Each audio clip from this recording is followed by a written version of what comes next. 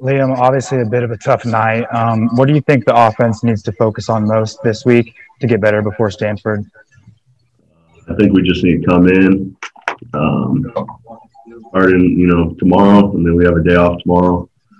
Um, come in, get our bodies right, um, do treatment, and then um, it's kind of on to the next one. You know, uh, it's a tough loss. Stanford or uh, Stanford's a good team, and we'll be looking forward to them. But hats off to Oregon; they played they played their butts off, and um, I thought it was a war in the trenches. So. And it seemed in the trenches that you guys were opening a lot of good space for Deon. Um, how are you guys able to sort of create those gaps on some big hitting plays he had, and what have you seen out of Deon um, coming in for Max? You know, uh, I think a lot of you guys have slept on Deon. You know, that dude's come from Notre Dame, a big time program. Um, and, you know, it's kind of hard to get playing time, you know, and you have another star running back here. Um, but, you know, I think Deon's been doing this the whole time he's been here. You know, he just hasn't gotten the reps in the past, I think. Um, but, you know, all, that's all we try to do every day, every practice, every game. Just open the holes as much as we can, play our butts off, um, go from whistle to whistle and play smart. Um, because, you know, playing offensive line is a, a selfless position. The end of the day, you're not going to get, you know, the glory that everyone else gets. But um, you got to be selfless and, you know, help out the team. And, um, you know, up front, I think we did a, a decent job tonight. Um, I thought, you know, there's some things that we can fix coming Monday um, to clean up, but um, I think we'll be ready to attack next week on Monday. Thank you. Our next question, Joe McHale from Spokane TV. Go ahead, Joe. Hey, Liam, just curious about um, the atmosphere. Obviously, not having the home crowd at Martin Stadium. How much of a difference did that make, and did you miss it tonight? Um, I think Martin Stadium's a special place to play at. You know, I think it's very underrated in the Pac-12. Um, it's just one of the smaller stadiums in the Pac-12. But once we pack it in and you know get all the Coug fans, you know, uh, all you guys know what Coug fans are about, and they're all about their football and you know supporting other sports too. They're really really enthusiastic when it comes to that. Um, so I, what Renard kind of said, you know, I think you know during key situations, um, it would have been great to have the fans there. But at the same time, um, when you step in between those lines, it's football. Um, and at the end of the day, it's you know you're you're going against another dude who's athletic and big, and you know you're, you're just trying to stop them from doing what they do best. So um, yeah, at the end of the day, it's just football, and we gotta come back next week and. Uh, you know, it's, it's we know no fans are going to be here in, uh, for any of the games, so we just got to come back and uh, uh, execute next week. And then last for me, it seemed like you know everything was working for you guys in the first half. The third quarter uh, seemed a little slow. Uh, what was the difference between that third quarter and in the first two in terms of offensive efficiency? You know, uh, there's a couple of TV timeouts. You know, I, I don't like those personally. Um, kind of throws throws us off our rhythm. Um, you know, I don't think we are catching a lot of rhythm in, in the uh, third quarter, and we left our defense out there for a while in, in the third quarter.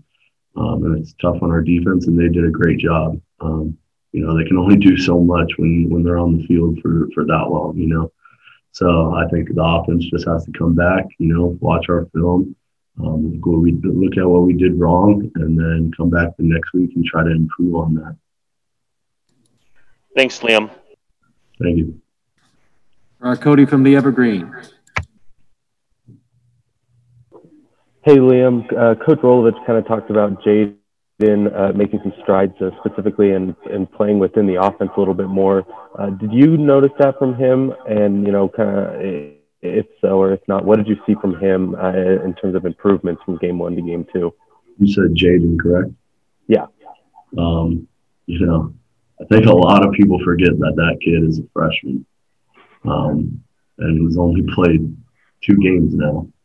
Um, and when you have three guys on our offensive line who've played probably 30 plus games, um, 29 plus games, I think it's 29. Um, you know what we what we try to do is make him feel comfortable, and I think a lot of people just forget that that kid's a freshman. He comes in, he's level minded, um, and he acts like he's been here before. The, the the the scene is not too big for him. College football is not big for him. Um, and what he tries to do, you know, I think that was his first time losing in a long, long time. Probably Pee Wee. I think he said something about that. I don't think in high school they lost that much. So it was tough for him. Um, but in the game, um, you know, all we have to do is, you know, keep our offense going, a good tempo. And um, I thought Jayden made good strides from the first and the second game. And, you know, this is his first big time game of many. Um, I think a lot of people forget about that and that he's a freshman and he's young. So he's a lot more opportunities to um, step up in these big time games and whether it's with his legs or his arm. But I thought Jayden did a, a good job today. All right, last one, Rob Jesselson from Spokane TV. Go ahead, Rob. Last questions for Liam Ryan.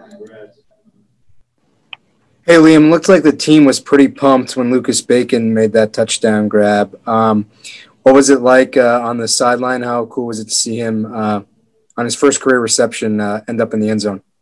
You know, win or loss, um, to see a, a walk-on guy come in um, the whole off season, um, preparing like he's a starter and wants to be a starter. Um, you know, just working his butt off. You know, yeah, he's a he's a character off the field. Um, I, can, I can say that. But you know, when he when he puts in so much work, um, you kind of expect things to happen that way. Um, and congratulations to him. Hopefully, we can keep rolling with him. And um, you know, when Calvin gets back, he gets back. Um, but I thought it was a good, a good, touchdown. I didn't really at that point, you know, you don't as an O lineman, you don't really see things until the very end. Um, I just saw he caught the ball and got in, and you, know, you, you kind of look up and you're like, oh, that was Lucas, or that was this dude, you know, and you're kind of celebrating with the O lineman and you know try to get downfield. But you know, congratulations to Lucas. It's first of many, um, but you know, the hard work pays off. That's a that's a big key in that factor right there.